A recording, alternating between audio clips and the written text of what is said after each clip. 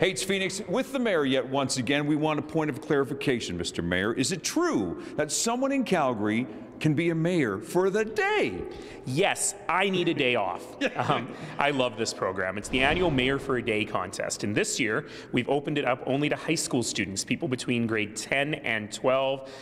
They need to write an essay, come uh, about what they would do if they were mayor, and then they get to spend a day with me, meeting with the people who have the opportunity to take their ideas and make them real. Do they have to work for this? They have to write an essay. Come on, Mr. Mayor. Come on.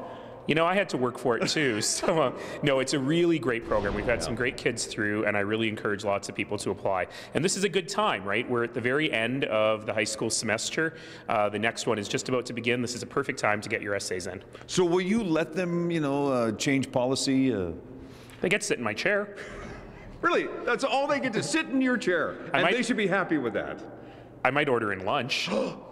no, quite seriously, um, let's say that your idea is better transit. Exactly. Well, we'll give you a chance to pitch your better transit to the people who actually make the decisions on transit in Calgary Transit. It's a really great opportunity. You also mentioned lunch. You can spend uh, an afternoon with the mayor as well. It's a, a mayor's lunch. Yeah, I really enjoy this one too. This is the annual Mayor's Lunch for Arts Champions, and it's a real opportunity for people who want to get more involved in the arts or people who are already involved in the arts to really show their support. Uh, come to the lunch, you're going to see some great artistic performances, and you're going to learn how you can help the arts become even more powerful in the city. Okay, I have to throw this at you because a lot of people are asking, are we going to have winter tires mandatory in the city? You don't have to answer that, but I I would love you to answer that if you could. I'm going to answer it. Number one is to answer the question about mandatory. Well, actually, the city has no power to do that. Exactly. But I will tell you that I am a relatively recent convert to winter tires. I've had them for about five years. Everybody needs winter tires. They make a huge difference, and although there's an upfront cash outlay, remember that your summer tires will last longer. So you're really not spending much money except on new rims. You need to get them.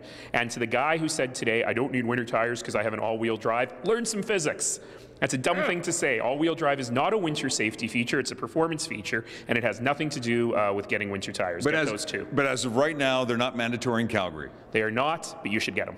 Always fun to chat with the mayor. Thank you, Mr. Mayor. More of Go Calgary coming up on Shaw. Not mandatory. Not But get mandatory. 'em. But get get 'em.